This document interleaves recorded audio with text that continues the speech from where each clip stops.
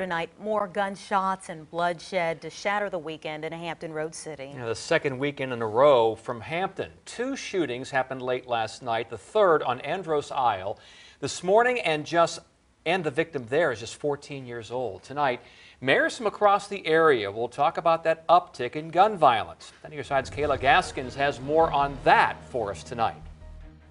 We are on the corner of Homestead Avenue and Vine Street right now in Hampton. And if you take a look at this house right here, you can see bullet holes through the side of the home.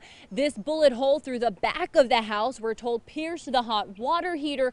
The woman who lives here isn't currently here because there is work being done at the house, so no one was injured. However, these bullets came from a shooting last night on this street around 10 p.m. that injured two young men. City and regional leaders say they are tired of this uptick in violence. Since June 19th, there have been seven shooting events in Hampton that have left eight victims. Three of those died. Here's Hampton Mayor Donnie Tuck. It's disturbing and it also just leaves me scratching my head as to determine what the reason for it. The victims' ages are concerning for many. Last night, four young men were shot in the city. The oldest is 20, the youngest just 14.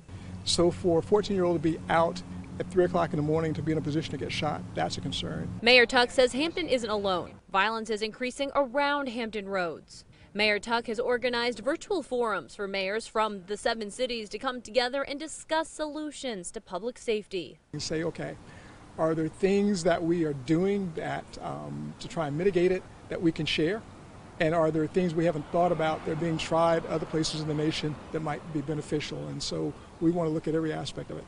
So far, no suspects have been arrested in connection with the shootings last night. So the first of the forums of the mayors was held in April and it was a success. The next forum is held tonight at 7 p.m. Argina Arevalo will pick up coverage for this evening. In Hampton, I'm Kayla Gaskins. 10 on your side. Meantime, Newport News police have a deadly shooting on their own to investigate. This happened just after 10 o'clock last night on Belvedere Drive near 71st Street. Police say a man was found shot outside an apartment complex. They say he died before a pair of medics would get him to the hospital. No suspect information available right now. Newport News has seen 15 homicides there this year. And as Kayla mentioned, that forum on violence is tonight at 7 o'clock. Argina Arevalo will have more tonight on Wavy News 10 at 11.